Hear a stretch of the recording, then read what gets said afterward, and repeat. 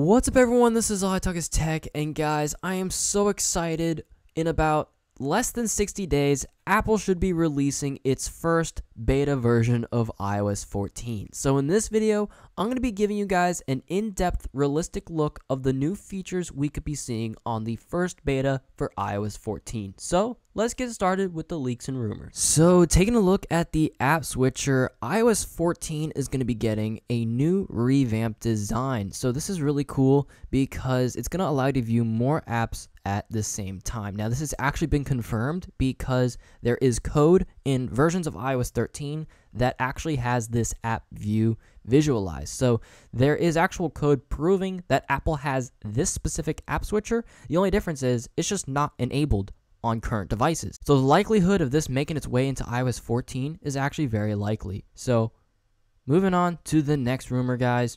Apple is going to be changing up iMessage. So they're going to be adding a few cool features. So the first one that is a much needed feature is whenever someone is typing in a group chat, you will actually be able to see a little bubble appear showing when they're typing. So this is only present when you are messaging a single individual. You can see like when they start typing on the keyboard, but now this will be added to group chats. So what's also super cool is if you are typing to someone it's just you one on one typing with someone else, you can actually click the at button and you can add someone in your contacts to the conversation. And you can even do this in a group chat. So you can just at the person you want to mention and then they will be added to the group chat immediately. So, night mode and wallpapers are going to be making a comeback in iOS 14. So, Currently in iOS 13, there is an ability to make your iPhone automatically change whether you're on dark mode or light mode depending on what time of day. Now, what's kind of cool is Apple has these preset wallpapers that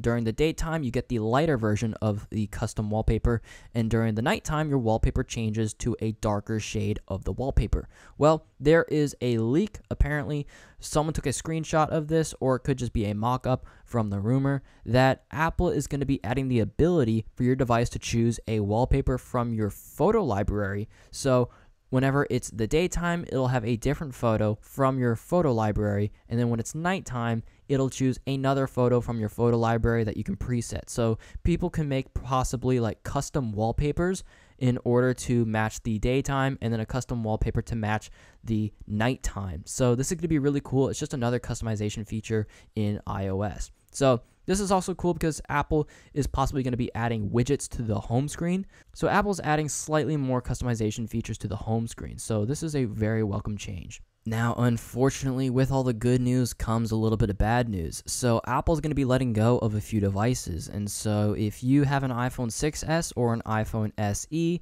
you might want to worry a bit because Apple could be letting iOS 13 be the final version of software that these devices have. So, if you have an iPhone 7, you should be good to go.